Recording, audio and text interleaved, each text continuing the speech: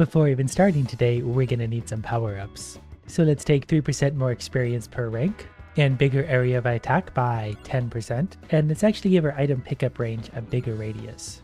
And since we can still afford it, projectiles move 10% faster. And we're going to start as the old man Poe again because garlic. And then because I'm grossly overconfident, we're going to start in the Green Acres, enemy health plus 50%. Let's make it look easy. These are bats, and that's a ghost bomb. Uh, the garlic should hopefully uh, carry me through these to start. We're going to get a lot of experience at the very least. And we can already get better garlic. The better garlic is kind of key to doing this probably because these are stumps, not bats, and they have extra health. Genocide is the name of the game. need to walk towards them. We're definitely going to go with the Peachone today, whatever it's called, because that is incredibly powerful in its ultimate form. We might in fact need it. And honestly, if it wasn't for those power-ups we bought along the way, I don't know if we'd get get away with this. The garlic probably wouldn't be enough to kill these guys initially. And I'm a little saddened by the lack of idiots that are spawning already. We're a minute in, but I need more things to kill.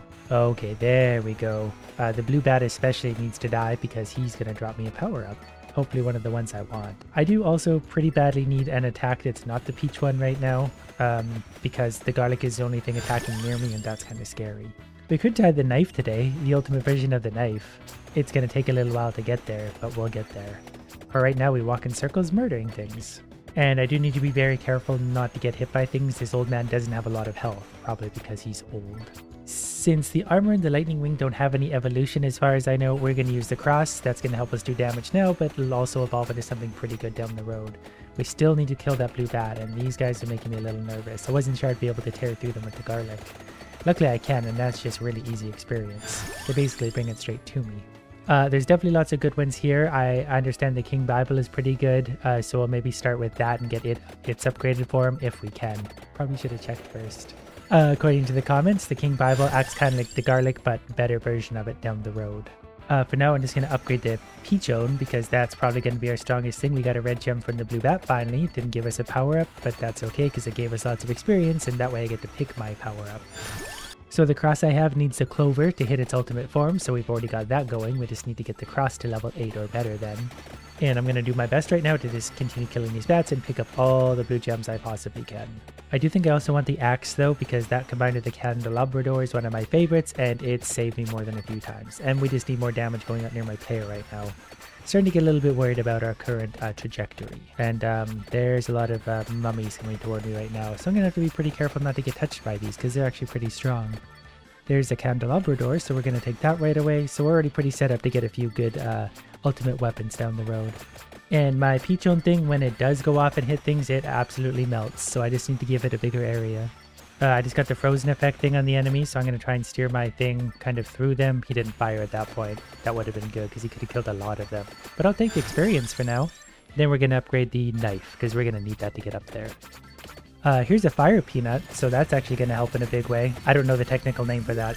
Uh, probably didn't mean to pick that up because I don't know what it's about to give me. This might, might work against us.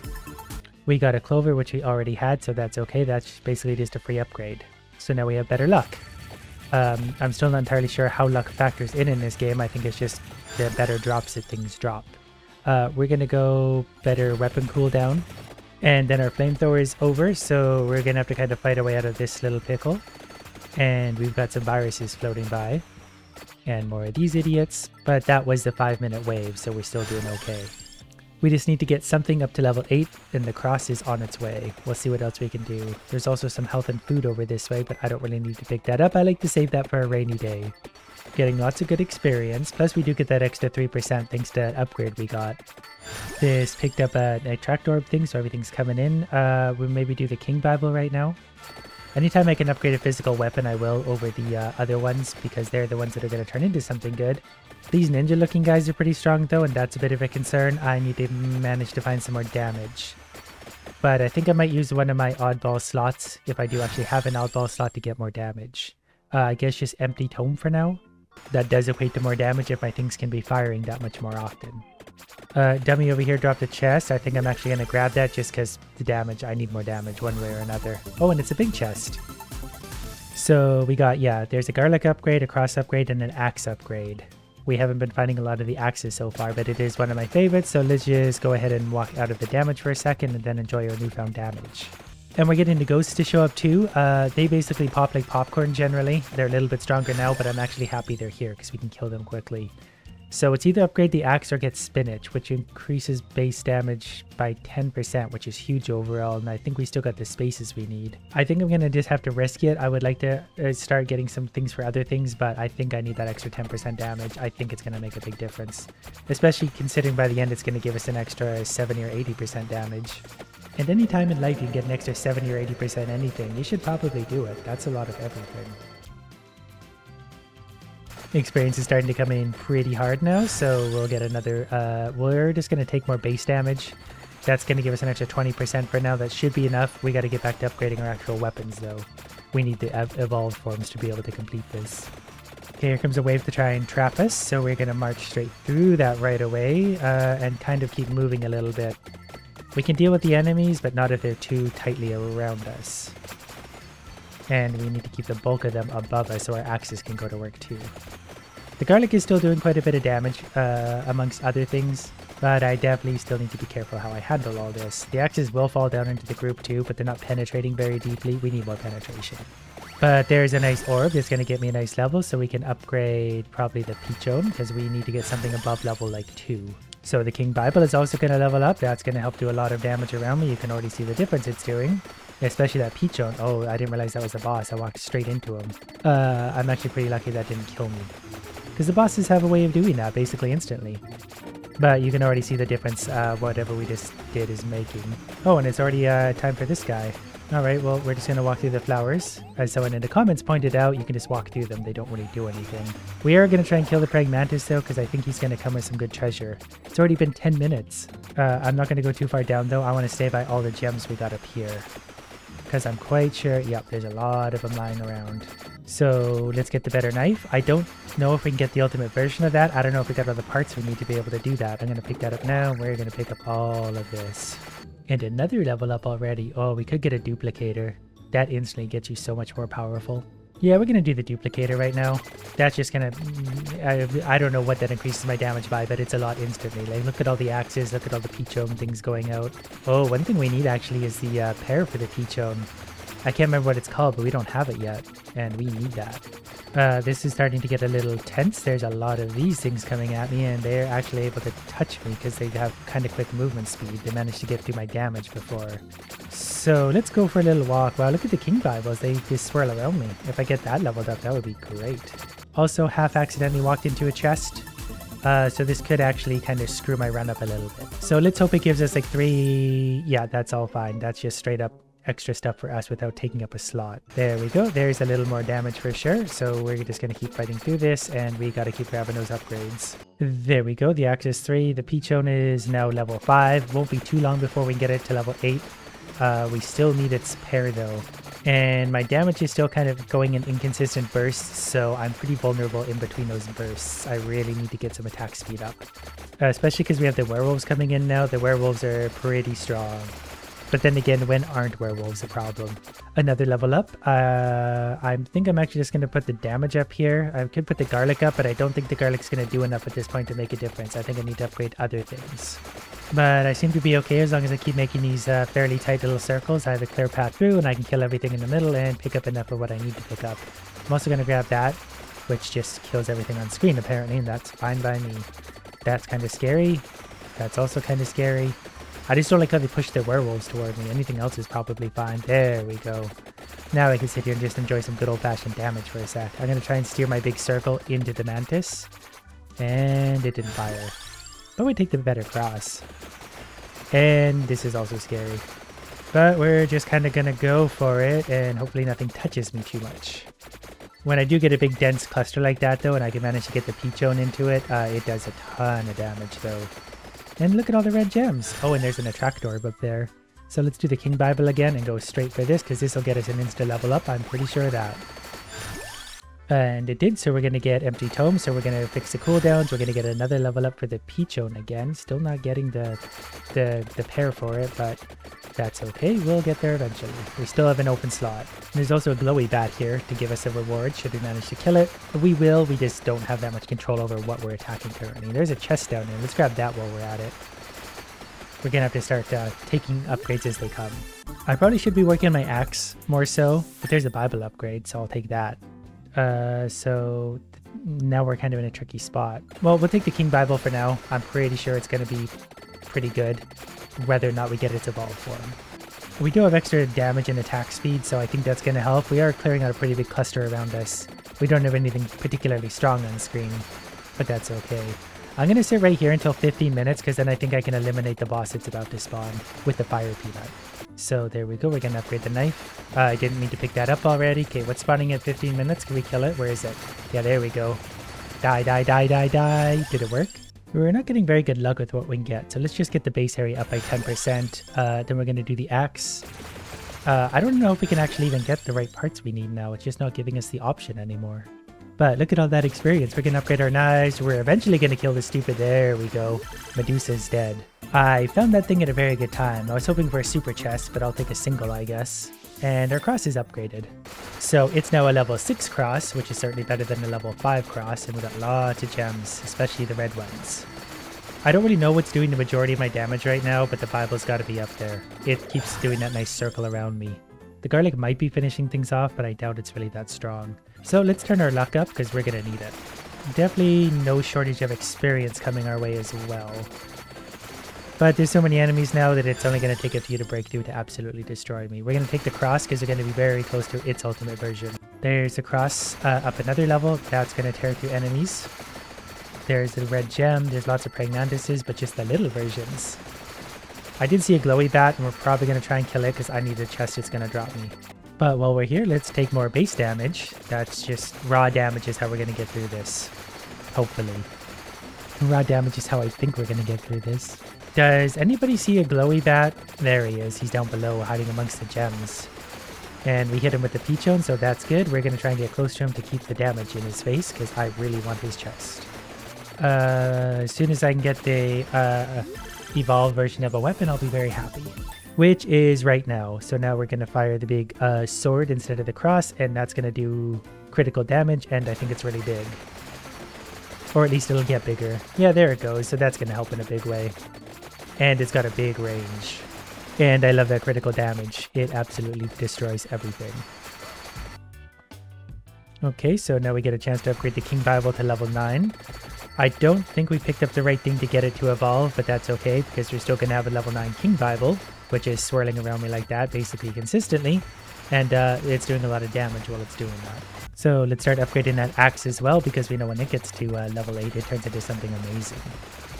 And these zombies were of course a boss in earlier stages, now they're pretty much all the enemies ever, and they have 50% more HP than they used to. Points like this are kind of relaxing because there's just less enemies to have to deal with, but then you know that you're not getting as much experience and pretty soon you're going to be swarmed again, so you kind of consistently want idiots in your face because you just need that experience so badly. Just killed the bat, uh, not sure if I have anything ready to upgrade yet, I'm going to try and get one more level before I pick up that chest, which shouldn't take more than a second depending on what's about to happen. So there's a level up. We didn't really get anything amazing there, so let's just take more base damage. 10% damage on top of what I was already doing is going to make a difference. Then we'll grab this. There's an upgrade for the axe. I'll absolutely take it. Alright, so now we got the extra axes. We got everything going pretty good. We are about to hit the 20 minute boss thing though, so that's going to be interesting. I think we're going to be okay though. We're doing some pretty good damage. Thanks largely to that spinach. I'm glad I picked that up. They're pushing everything into me. That's cheating. Okay, well, the bats just pushed everything into me and I just didn't have a chance. Okay, this time we're to start with a different character. This is to work better. We're to unlock Gennaro. He starts with plus one projectiles and the knife. And we're back to these things already. Kind of forgot these existed. Um, I'm not really super set up to deal with these very well. But if we upgrade our fire wand, that might help. Uh, we'll be okay, but we gotta be careful at this point. Because I don't have a very broad area of attack, so they can slip through my uh, defenses. But the knives are going out pretty quick now, so they tend to clear a path in the direction I'm going. Kind of wish I didn't pick that up. Uh, luckily they don't hit that hard, really. They do do some damage, but it's not that bad. As strange as that is to say, so I can touch them just a little. But I definitely gonna need some more levels up because I'm not doing enough damage. We could do a duplicator. Do I do a duplicator? Yeah, we'll do a duplicator for now. We're gonna fire a lot of projectiles, but I still need to level them up a lot. Especially because we're getting into the werewolf zone, and this is where things get very hard very quickly, so Uh, I just fired a direct few flurries into a single werewolf. That didn't kill him, so the knives... We'll see how strong they're actually going to be. But we need their ultimate version, to be fair. They might turn into something absolutely amazing. Okay, that's fine. We're going to take the fire wand. Then I'm going to try and grab at least one of those chests if I can. If not, we'll just work our way in there a little bit. See, we're doing okay damage. Uh, I couldn't get the chest, though. Forgot I didn't have the extra range pickups. Uh, so this might not be great. Because I have high-speed werewolves, which is a bad thing for werewolves to be. Uh, yep, so they just got pushed right into me and killed me. I've started another run. I've been having good luck so far, but I also just found something new called the Pomarola. Character recovers 0.1 HP per second. And I accidentally just bought it. Uh, it is actually what pairs with garlic to make the ultimate form of garlic, which I ironically don't have this time. But other than that, we're doing okay this time. We got lots of damage going out. We're going to have the axe, the fireball, the magic wand, and perhaps the knives. Definitely getting hit a lot more than I should be, and we're coming up to the 10 minute mark, so I'm hopefully going to get that food, and we're going to regroup a little bit before uh, dealing with all of this. There's another piece of food, so I'm definitely going to pick that up before just straight up leaving that Ring of Doom, because there is too much to deal with there. But this will give me a second, they'll all kind of funnel out, and I can hopefully thin them out a little bit. The ghost are just going to push everything around, and that's not going to work well for me. Next level, Fire Wand gets leveled up, so it's getting close to where it needs to be for its ultimate form. Um, I'm just really going to have to focus on grinding for a couple minutes. We got the skeletons to show up this time, which I don't know if that's good or bad. It doesn't feel very good at this particular moment, because that. But we're also going to freeze everything for a second. Um, I'm going to try and take advantage of this to just farm some experience as quick as I can. Because that's the only way we're going to get ahead. And uh, so far, that's working out not bad. Turns out this gets really hard when you don't really have that area of effect. Maybe the garlic is still needed. I can get the ultimate version of it now, so it could potentially help. Uh, we're to get the axes, because again, I can't get the ultimate version of the knives anyway. But we definitely want that attractor, whatever it's called. Give me that. Give me some level ups, please. So we're to get better axe, uh, better axe, and better fire wand.